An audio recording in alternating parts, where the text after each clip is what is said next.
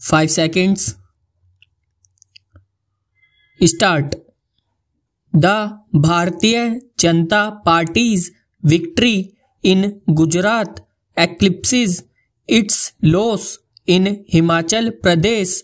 Not only is Gujarat a bigger state, but the scale of the party's sweep in the western state also overshadows its narrow loss in the hill state.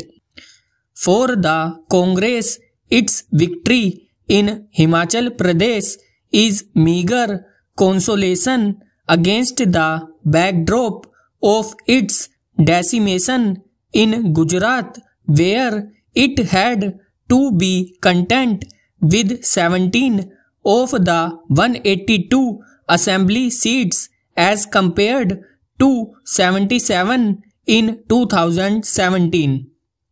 With another five-year term now, the BJP will rule Gujarat for 32 years, almost matching the left front's 34-year rule in West Bengal that ended in 2011.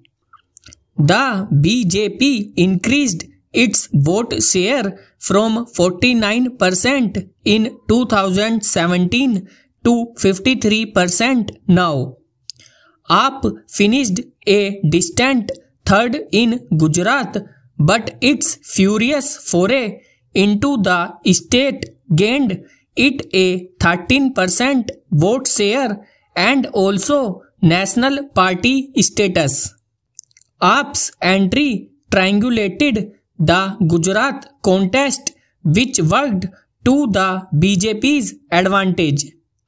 The BJP made inroads into tribal regions and rural constituencies which constituted patches of the Congress's strength after AAP's generous promise of welfare schemes succeeded in seeding a new kind of class politics in the state it was prime minister Narendra Modi leading the campaign all the way for the BJP and his popularity which was unlinked to the performance of the state government helped power the BJP to a historic victory the Himachal Pradesh outcome is instructive of the latent anti-incumbency that the BJP faces and the opposition's occasional capacity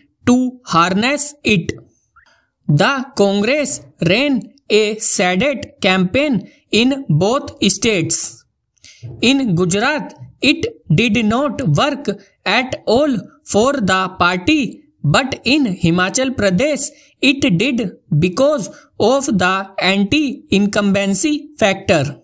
In Gujarat, the combined vote share of Congress and AAP hovers around 40% less than the Congress's alone in 2017. In Himachal Pradesh, Mr. Modi's extensive campaigning was not enough. In Gujarat, the BJP had pulled out all the stops after it faced setbacks in 2017 while the Congress has lost steam since then. With renewed vigor, AAP will now try expanding to new territories, potentially mudding the waters for the opposition and aligning with the BJP's Hindutva ideology. The outcomes of Gujarat and Himachal Pradesh demonstrate that the BJP's status as the hegemon remains unchallenged in Indian politics. Mr. Modi is more popular than his party and the opposition is unable to create the politics or programs that can challenge the BJP. While the BJP has a universal formula that is largely successful across regions. The opposition to it can sustain only with state specific strategies.